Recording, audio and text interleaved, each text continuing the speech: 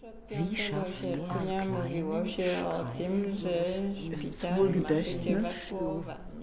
War es Wahn, der mich ergreift?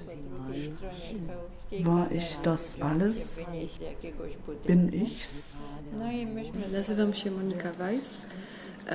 Mieszkam w Nowym Jorku od wielu lat. Urodziłam się w Warszawie. Pracuję głównie w instalacji, rysunku i wideoprojekcji. I moja sztuka, tak ogólnie rzecz biorąc, e, zajmuje się relacjami pomiędzy pamięcią i historią. Znaleźliśmy z góry główek kapusty. Fluss aus Feuer, Fluss aus Kummer.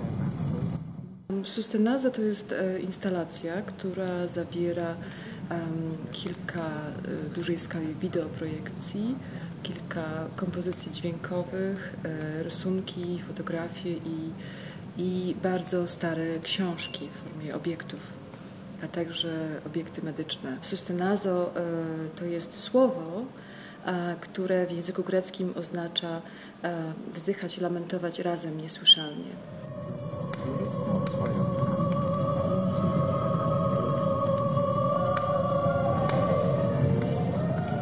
E, Tutaj chciałam mieć polifoniczność nie tylko mediów, ponieważ się pojawiają projekcje, dźwięk, rysunki itd., ale również e, e, współbrzmienie różnych e, e, historii.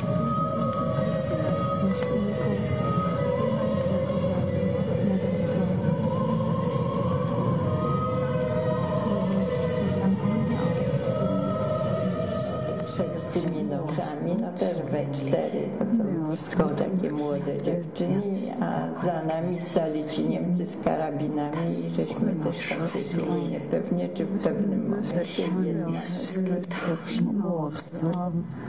Das Meer, Flugsiedler.